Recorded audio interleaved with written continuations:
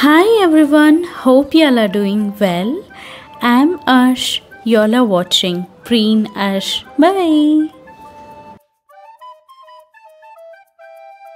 Empathy. What is the meaning of word empathy?